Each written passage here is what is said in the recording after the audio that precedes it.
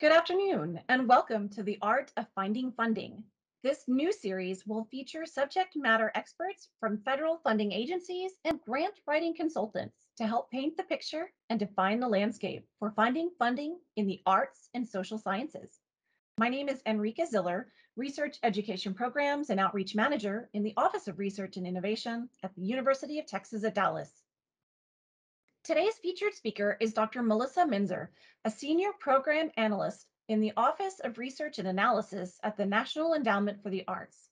She manages the Research Grants in the Arts program, which supports research projects focused on the value and the impact of the arts on humans, communities, and societies, as well as the Research Labs program, which supports transdisciplinary research teams grounded in the social and behavioral sciences, who are tasked in yielding empirical insights about the arts for the benefit of arts and non-arts sectors alike.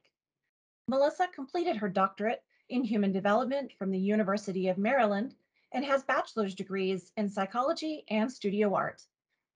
Dr. Menzer, welcome. Thank you so much. Um, hi, everybody. Again, my name is Melissa Menzer, and I am a Senior Program Analyst in the Office of Research and Analysis at the National Endowment for the Arts. Thank you to Enrica and the University of Texas at Dallas uh, for the opportunity to share uh, with you information and resources about the funding programs we have at the National Endowment for the Arts. Um, in this presentation, I'll overview the National Endowment for the Arts and our various funding programs and how to apply. Again, feel free to use the Q&A box to ask questions throughout the presentation, and I'll try to answer as many as I can um, after I finish going through the material. Uh, next slide, please. All right, one second. Okay, a little bit about the NEA. The National Endowment for the Arts was established as a independent federal agency by Congress in 1965 our current mission is to strengthen the creative capacity of our communities by providing all Americans with diverse opportunities for arts participation. We award over 2,000 grants each year that support our mission and goals to organizations of all sizes across all 50 states and six U.S. territories. Um, to give an example of how far our funding has spread in the state of Texas, Texas specifically, um, in the past five years, the NEA distributed more than $21 million in grants. Next slide, please. I'll turn to our direct grant programs momentarily, but first I want to mention that the National Endowment for the Arts offers partnership agreement grants to the U.S. territories 50 designated state arts agencies, and six regional arts organizations. By law, 40% of the NEA budget appropriated by Congress must go to the states and regions. By supporting the state arts agencies and regional arts organizations, the NEA can make the arts available in many more communities than it could through our direct grant programs. There are grant opportunities available through these individual state arts agencies and regional arts organizations, and these can be another source of funding for your projects. For the state of Texas, for example, your state arts agency is the Texas Commission on the Arts, and your regional arts organization is Mid-America Arts Alliance. You can find more information in the impact section of the NEA website um, under the state profile for Texas. And there's a lot of really interesting stuff in that profile as well. Um, the direct, uh, direct link is www.arts.gov slash impact slash state dash profiles slash Texas. Uh, next slide, please. Shifting gears to our direct grant making programs, most of our regular uh, direct grant programs are annual programs. On the left side of this slide, you'll see our flagship arts programming and engagement grants, which include Challenge America, grants for arts projects, and Our Town. On the right side of this slide is our research programs, the Research Grants in the Arts program and the NEA Research Labs program.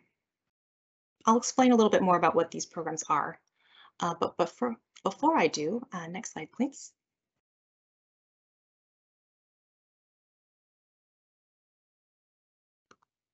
Here's a pie chart of our funding allocations from uh, last fiscal year and across the five different uh, programs I overviewed in the last slide, across all, across all states. Um, overall, we awarded over $57 million in awards, most of our funding going to the Grants for Arts Projects program. The amount of funding that's available and the funding caps for each award is important for you to, to consider as you think about your project. The level of competition you might face, and how best to right size your application to the award mechanism you choose to apply to. Next slide, please. Uh, first, I'll go in more detail about the arts projects programs before turning to the research awards programs. These funding opportunities occur, oh, these funding opportunities occur each year for organizations, Challenge America, Grants for Arts Projects, and Our Town. Generally, for these three programs, your institute or your institution can submit one application per year per organization.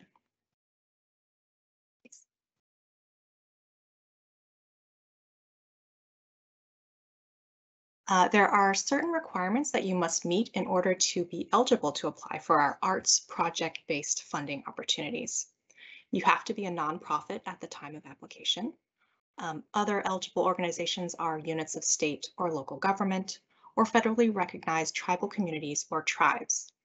Many colleges and universities are eligible given that they fall under one of these uh, categories. So for example, the University of Texas at Dallas, as you know, is a state-run university and thus eligible for funding from the NEA. You must have a three-year history of arts programming.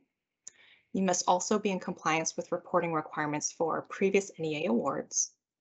And you must provide a one-to-one -one cost share or match of non-federal funds. This match can be achieved in a variety of ways, such as staff salary, in-kind donations of space, donated supplies, etc.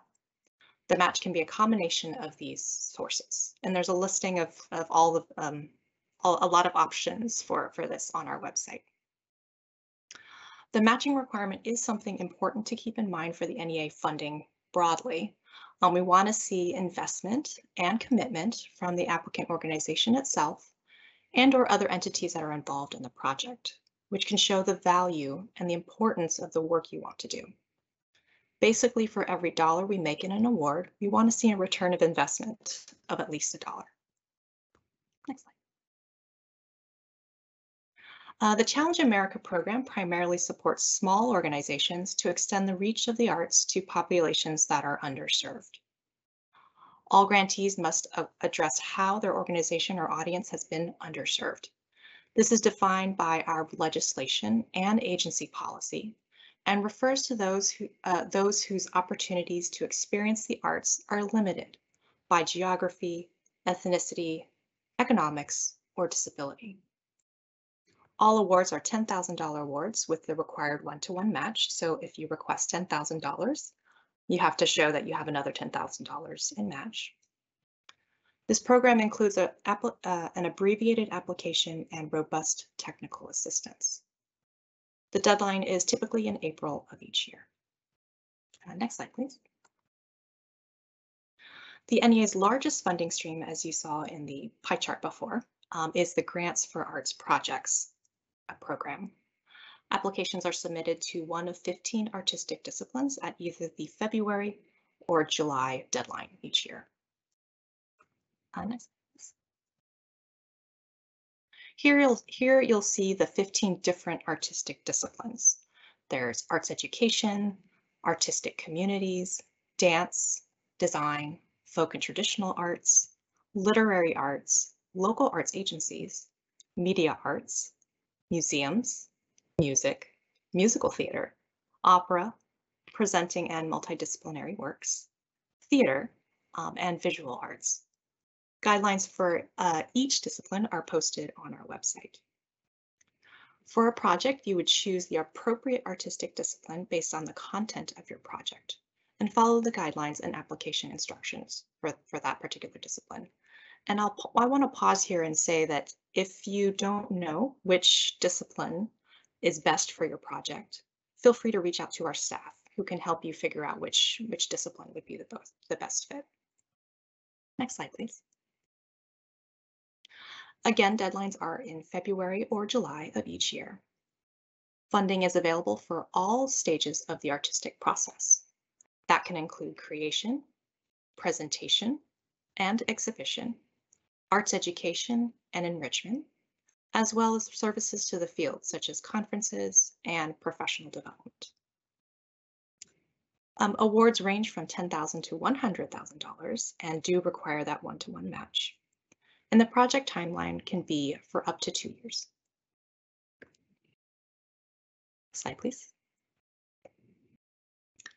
The Our Town program provides support for creative placemaking projects. Um, so what do we mean by creative placemaking? The most simple definition is about strengthening local communities through arts and culture. Creative placemaking is where arts, culture, and design activities are deliberately integrated into efforts that strengthen communities. And successful Our Town projects ultimately lay the groundwork for systemic changes that sustain the integration of arts, culture, and design into local strategies.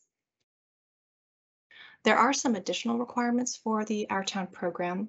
Um, eligibility does require a partnership between a nonprofit and a local government. Um, grants range from $25,000 to $150,000, again with that one-to-one -one match. And the deadline is typically in August of each year.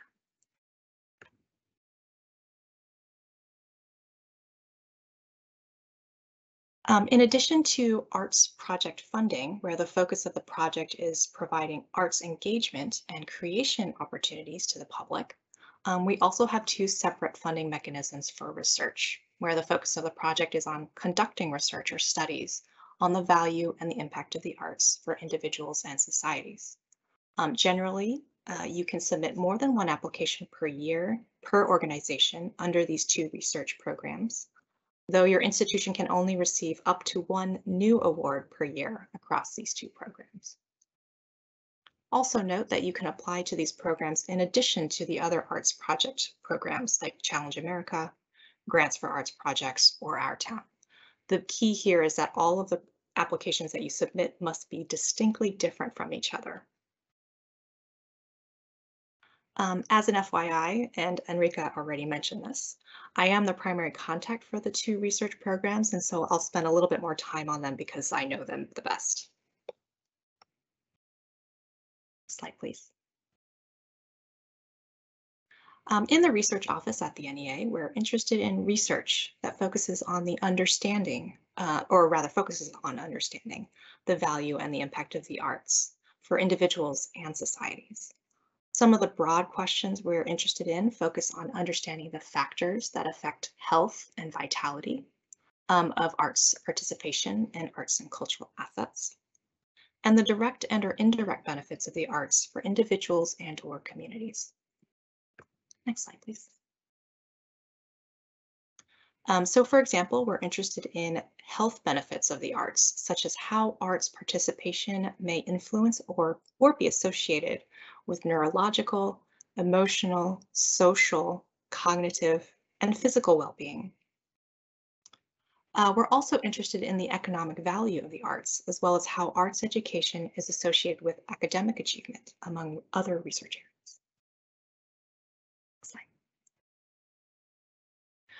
It may also be helpful to know that our work and the research that we support um, through our funding programs come from many different sectors beyond the arts sector itself, um, such as economics, medicine and health, education, psychology, arts management, um, and community planning, uh, for example. But this is no not exhaustive. Um, there's certainly other fields that are um, also eligible for funding from us.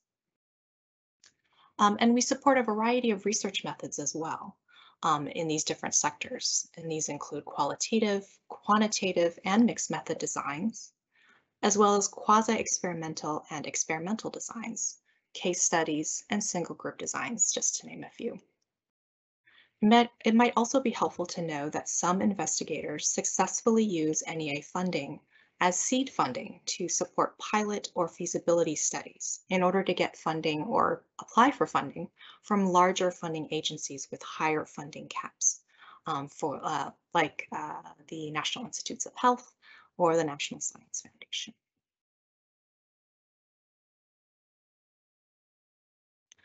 Within the NEA funding sphere, though, your, your choice of which uh, NEA research funding mechanism to apply to can be important to your application success.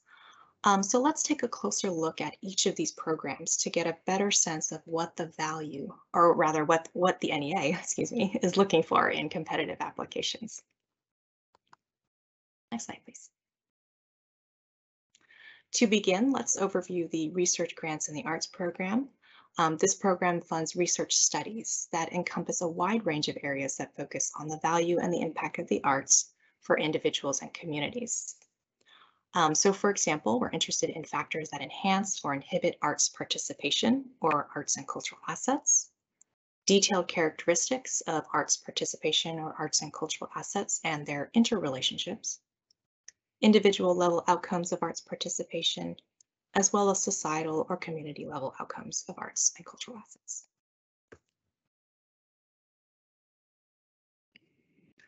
You can propose either primary data collection projects or general data analysis projects, or combination of the two. Um, the key is that all research studies conducted under a research grant in the Arts Award must include data analysis activities. In other words, we do not fund projects that are focused exclusively on data acquisition. Primary data collection projects must also include a plan to ensure fidelity of the data collection and program or therapy implementation uh, through routine monitoring or oversight and oversight. Uh, next slide, please.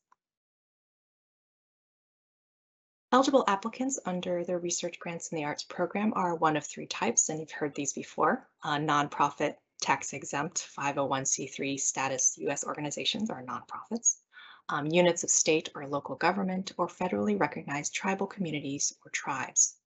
And of course, this may include, but is not limited to colleges and universities.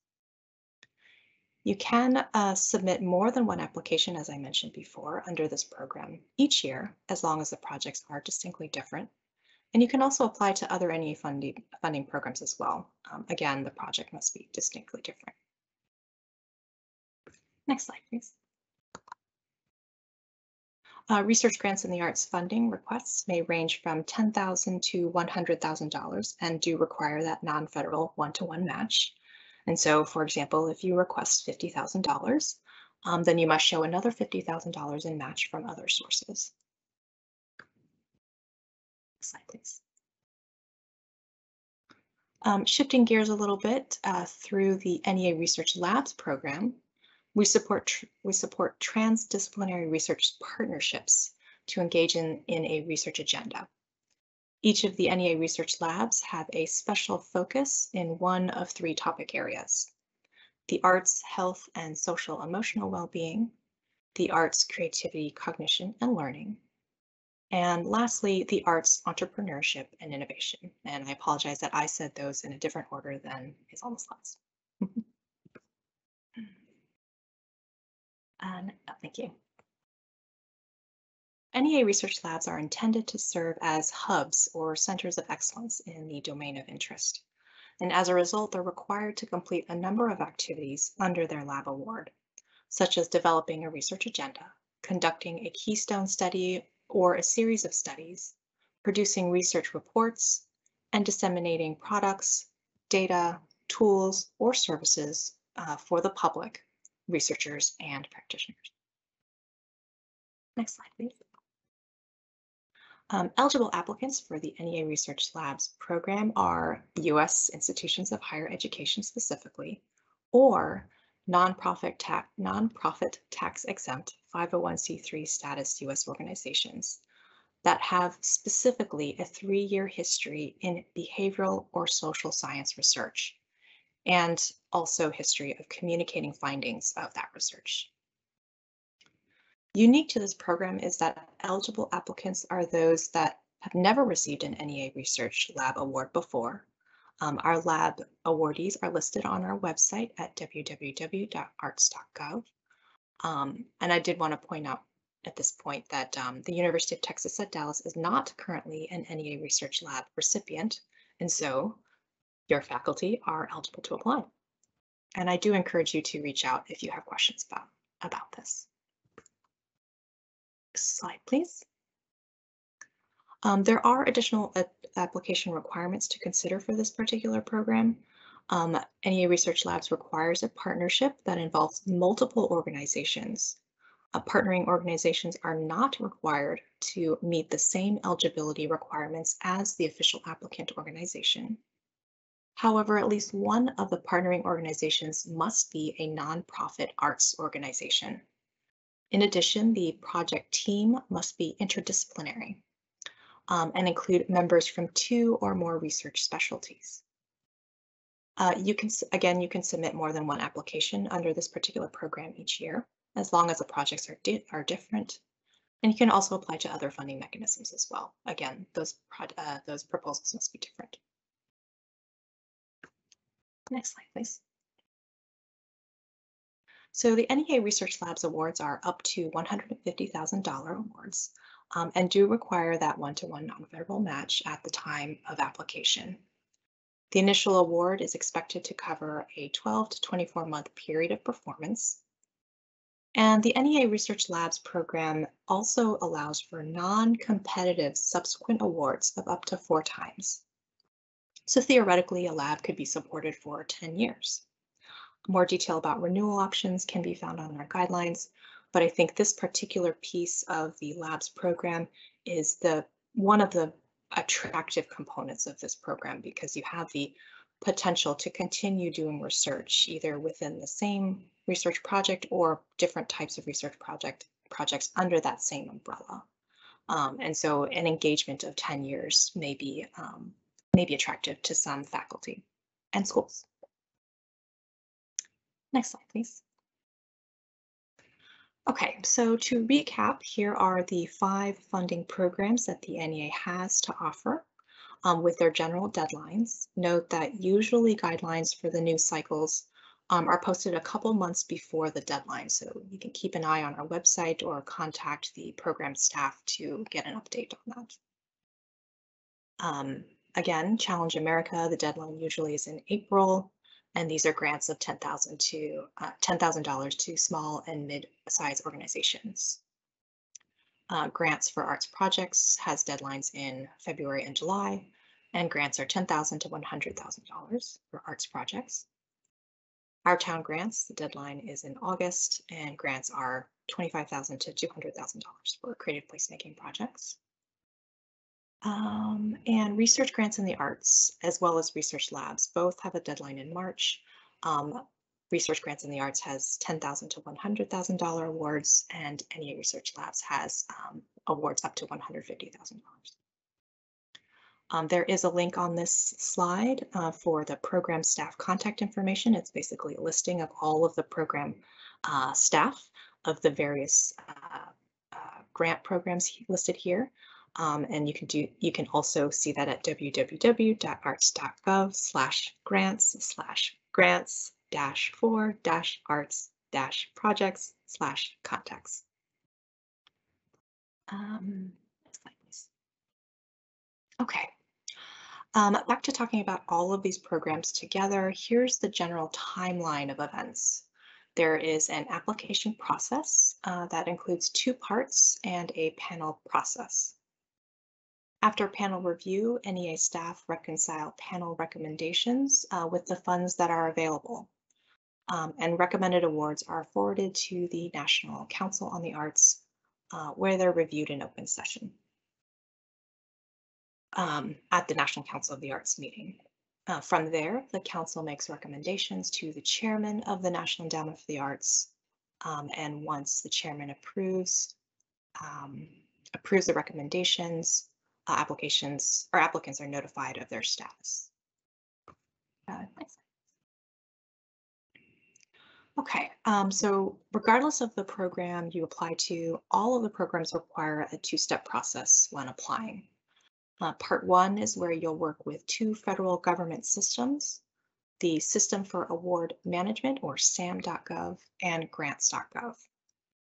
You'll need up-to-date registrations and the correct permissions uh, through these systems to apply for funding. Universities tend to have an Office of Sponsored Research or another department uh, that manages uh, grants. If interested in this, in these opportunities or any of our other funding opportunities, Um, you'll want to get in contact with them to ensure that the university has up-to-date information for part one of the application. Um, as a reminder, SAM.gov and grants.gov are federal government systems and registration in both systems is always free. Um, note that as faculty at the University of Texas at Dallas, if you do want to submit um, applications under any of these programs that I've discussed so far, your institution is the one that actually submits the application, not the individual. So that's just something to keep in mind when you're when you're preparing your material. Um, so once you have current accounts in both systems and the actual form you submit, uh, the actual form you submit is the SF424 form. Um, this form provides basic information about your school and won't take too long to fill out. Um, you aren't required to submit any specific details about your project in this step other than giving us some minor details of, about the organization itself and some of the key personnel that will be on the project. But basically think of this step as submitting your intent to apply. It's a way to express your interest in submitting the full application. Next slide, please.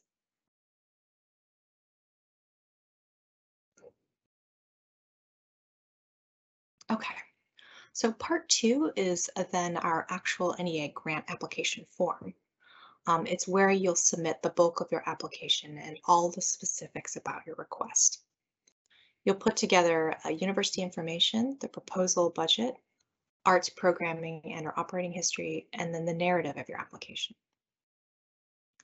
The grant application form is submitted through our own NEA online platform, which is called the applicant portal. And you can see a screenshot of what that looks like on the login page on the left-hand side, side of the slide.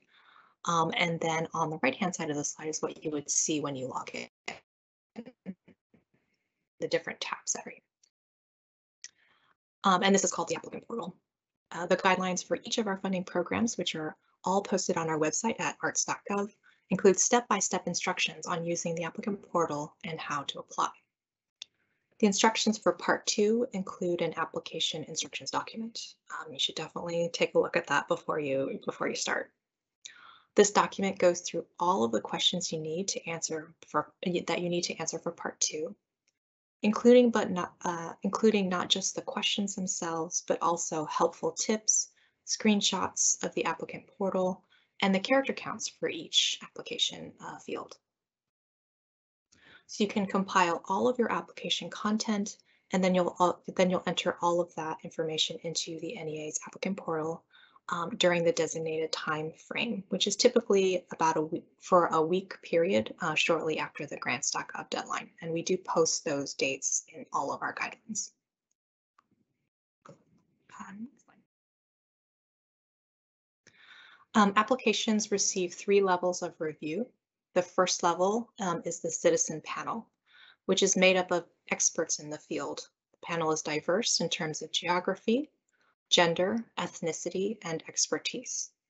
There typically are four to six people serving on each panel, including one layperson. And applicant uh, panelists uh, review about 20 to 40 applications, depending on the program um, and usually uh, program staff give uh, panelists about five weeks to review applications. Um, I do want to pause here to walk through the panel review process a little bit more. Uh, panelists evaluate each, each application based on two overarching criteria identified in each of the guidelines, and that's artistic excellence and artistic merit. And so it's important that your application speaks directly to each of these subcriteria under artistic excellence and artistic merit. Um, the subcriteria for excellence and merit do vary depending on the funding program, so you'll please do look very carefully at that review criteria when you um, consider which which program to apply to and consider um, what you need to include in your application. Um, as I mentioned before, at level two, panel recommendations are then submitted to the National Council on the Arts for review and approval. And then level three is the chairman. Uh, this person signs the, the approved grants. Um, if applicants are not recommended for an award, uh, we encourage them to find out why. uh, by calling the appropriate discipline specialists. And depending on the program, panel comments may be available to share with the applicants. Uh, with the applicants. Uh, next slide, please. As you, as you prepare your application, here are some tips to keep in mind. Um, first, carefully read the full guidelines before you start. Um, on our website, there are a number of additional applicant resources, including um, videos, to, video tutorials, and other types of documents and materials. Um, work with your partners to answer each component of the application as, as applicable. Um, check in with your organization's development sponsored programs or research administration office. The folks in these office um, will be able to provide guidance on what they need from you um, in order to submit your application. Again, consider the review criteria as you prepare your application and definitely start early. Generally speaking, our guidelines do not change substantially from year to year. Um, so using a previous year's guidelines is usually very helpful um, in framing in, in preparing for, for your upcoming application. If you do apply for support, as I mentioned before, it's often helpful to reach out to obtain panel feedback on your proposal, regardless of if you receive the grant or not. Another great way to learn about what panelists are looking for when they review applications is to volunteer as a panelist, and more on that in just a second. Um, and do remember that we're here to help you. Um, contact us by email or by phone with your questions um, we're, it, we're available to talk to you throughout the year and not just when we're accepting applications. So hopefully having this conversation now will be helpful for you as you think about applying to, um, to the programs that have deadlines next year. Next slide, please. Uh, briefly, I do want to mention that we have a couple of opportunities for individuals, um, individual fellowships with our, within our literary arts division. Um, the creative fellowships are in uh, creative writing fellowships are in fiction, poetry, and creative nonfiction. Um, that enables re uh, recipients to set aside time for writing, research, travel, and general career advancement. These are non-matching grants for $25,000. We also have translation project awards, uh, which enable recipients to translate a work from other languages into English. Um, Non-matching grants here are for uh, $12,500 or $25,000, depending on the artistic excellence and merit of the project. Slide, please. Okay, um, we are always looking for new voices to bring into our panel process. Um, it's a great way to connect with us and to really learn about what the process is like from the other side. Um, we have been told that it's a great uh, professional development opportunity. Um, so if you're interested in putting your name in the ring, um, do fill out the form that's on our website, or you can also contact me uh, um, uh, afterwards. Um, and and we'll, see what we can do. I can't guarantee at all that we'll be able to place everybody who puts who volunteers, um, but we try to do our best to put to place as many of those volunteers as we can.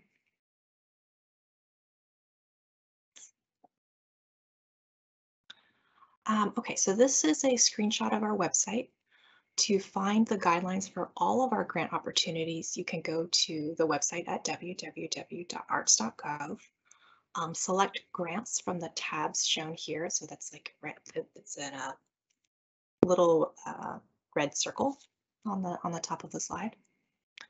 Um, this will take you to the next page, which is our grants opportunities page, and this will have a listing of links to our guidelines for grants for arts projects, Challenge America, Our Town, and the Research Awards, as well as grants for individuals. Um, from time to time, additional special opportunities may also be posted here um, as they arise.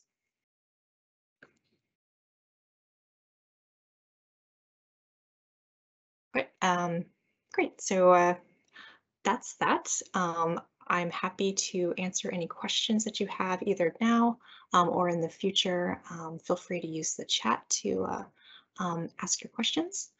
Um, I hope this was helpful and uh, uh, informative. And thank you. Thank you so much, Dr. Menzer. We do have a couple of questions in. Um, and again, I invite um, the audience to submit a couple more while we're discussing these. Um, the first one is what resources does the NEA have for faculty? Um, in terms, I'm, I'm not sure what exactly this this question is about, but in terms of guidelines, um, for every one of our um, every one of our programs, we typically have a webinar that's specifically designed to talk about, like, uh, provide more instruction, more technical assistance for people who are applying for that specific program. So I encourage you to read to um, watch those webinars as they come up, um, either live or, or in the archive. Um, the other great um, uh, resource is the program staff themselves. We are very open and willing to help you um, to understand what your questions are, to help you navigate the application process. Um, so definitely reach out. It, it's, it's, I think it's a valuable experience to reach out to our program staff to, to answer your technical questions. We do also have a um, public facing grant search tool, which I think is something that I lead most people to. Um, and I, I did not mention that in this uh, webinar, um, but it's a listing of all of our grants to date that we have awarded since 1998. Um, anything prior to that, I think they're in a separate uh, non-digitized archive. Um, but these, but this particular resource is really, really helpful because it gives you an example, it gives you many examples of projects that we've supported in the past, um, so that you can kind of see where your project might fit. Um, those are some some resources, but there's lots and lots of material that is in each of the guidelines um, that can direct you to additional resources that, that will help you with your application. Great. Helps. Yes, definitely. I'll be sure to get that, the link to the list of the grant awards and include it when we post this to the Office of Research and Innovation YouTube channel. Terrific. Um, and then another question that we've got in, and I, I think you mentioned this in this in the um, presentation. Is there a cap on how many grants we can submit to the NEA in a year? That's a really great question and all great questions so far. Um, so it really depends on the program. So typically speaking, um, grants for arts projects, Challenge America, and Our Town, um, you are only allowed to submit one application per year. So theoretically, you're only able to uh, receive one, one grant per year.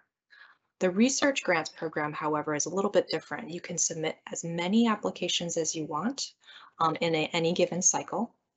Um, and this is this applies both to research grants in the arts as well as research labs. But the limitation here is that we would only be able to support up to one project during that particular cycle, one new project. So if, for example, uh, University of Texas at Dallas faculty submitted two research grants in the arts projects and then maybe three research labs projects, theoretically, we would only be able to support up to one of those of the five.